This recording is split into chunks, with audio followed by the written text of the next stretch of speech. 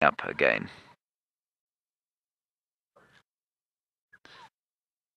And the last time it dried up, of course, it left with it hundreds, if not probably thousands, of tilapia and, of course, catfish.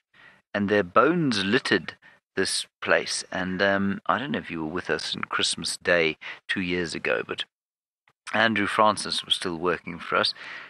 And he and I far, came along here, and it had all kind of got all dry but it was quite muddy still, and there was an impala ewe and her lamb stuck in the water uh, or in the mud. So we th- debated a long time and decided that it was Christmas Day.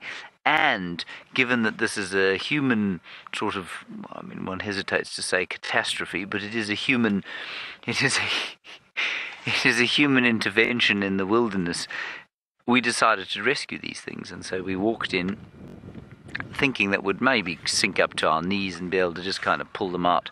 It turned into an absolutely a massively painful exercise because all strewn through the mud were these pin and razor sharp bones of all the fish that had died, and we came out of there with cuts and spikes all over our feet, our legs, and our hands as we had managed eventually to get these hapless antelope out of the mud, and they all ran off, and we went home feeling quite good about ourselves.